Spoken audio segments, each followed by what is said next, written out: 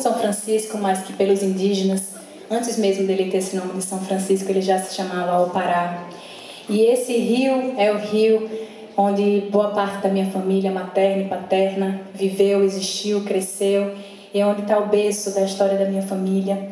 Hoje eu estou feliz aqui de ter meu primo, que faz parte da minha história, minha família, lá em Alagoas, à beira do rio Opará, esse rio que carrega muita ancestralidade e é onde carrega toda essa matriz afro-indígena, essa força de axé. E celebrar esse rio com esse nome, descolonizar também a forma de chamá-lo, é uma forma também de ir lá para trás entender que muito antes né, dele ter qualquer nome dado, batizado, naturalmente ele recebeu um nome originário, Opará, que quer dizer rio tão grande como o mar. Então essa canção eu celebro São Francisco, que é uma forma também de celebrar depois dela que vem o meu convidado, Zé Manuel, que tem raízes sergipanas, sua mãe é sergipana, e hoje aqui é o um encontro de Sergipe, Pernambuco e tantas pessoas também que fazem parte da história de onde esse rio navega, que começa em Minas Gerais e percorre um caminho cheio de tradição, cheio de força, de energia.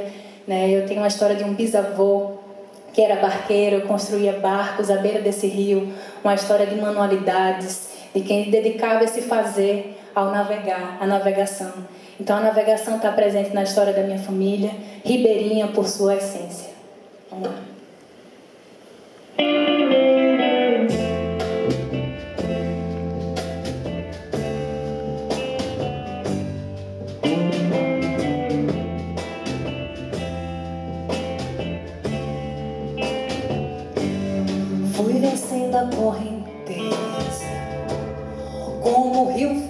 Do mar, quando o mar se incendeia, quando a ceia se lançar,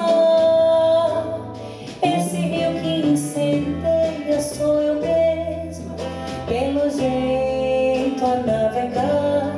Desta feita eu me despeço com desdenha, não me venha, não me vá, quer que eu fique a ver navios, mar menino,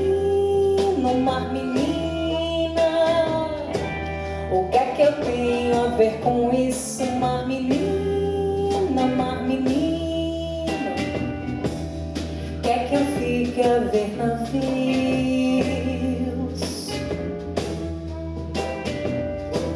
O que é que eu tenho a ver com isso? Fosse raso São Francisco, inventei de me banhar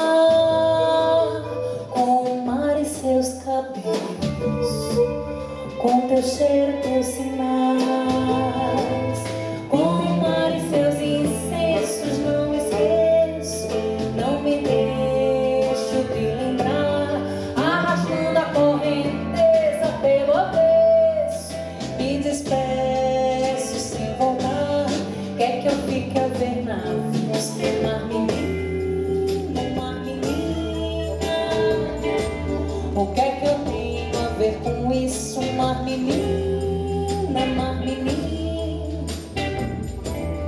Quer que eu fique a ver na vida?